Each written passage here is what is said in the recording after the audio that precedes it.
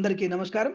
ఈరోజు మనం పదిహేను ఒకటి రెండు వేల ఇరవై నాలుగు సోమవారం రోజున ఉన్నటువంటి పంచాంగ వివరణ తెలుసుకుందాం. ఈరోజు మకర సంక్రాంతి శుభాకాంక్షలు తెలియజేసుకుంటూ మకర సంక్రమణ పుణ్యకాలం కూడా ఈరోజు ఉదయం ఎనిమిది గంటల నుంచి తొమ్మిది గంటల మధ్యలో స్నానం ఆచరిస్తే మంచిది. గుర్తుపెట్టుకోండి. ఈరోజు మనకి శోభకృత్నామ సంవత్సరము ఉత్తరాయణము హేమంత ఋతువు పుష్యమాసము శుక్లపక్షము పంచమి రాత్రి రెండు గంటల పద్దెనిమిది నిమిషాల వరకు ఉండి తదుపరి షష్ఠి ప్రారంభమవుతున్నది. శతభిష నక్షత్రం ఉదయం ఎనిమిది గంటల ఏడు నిమిషాల వరకు ఉండి తదుపరి పూర్వాభాద నక్షత్రం.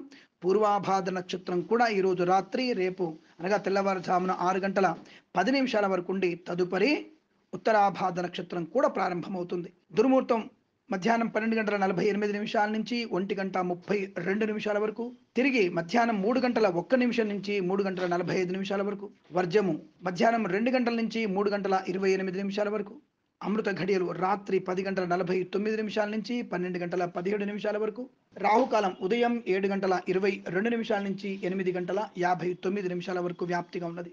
నేను చెప్పినటువంటి శుభ సమయాలను పంచాంగంలో ఉన్నటువంటి వర్జాది దుర్ముహూర్తాదులను రెండింటినీ సమీకరణ చేసుకొని శుభమైన మీ కార్యక్రమాన్ని ఏర్పాటు చేసుకొని విజయవంతంగా పూర్తి చేసుకుంటారని ఆశిస్తున్నాను.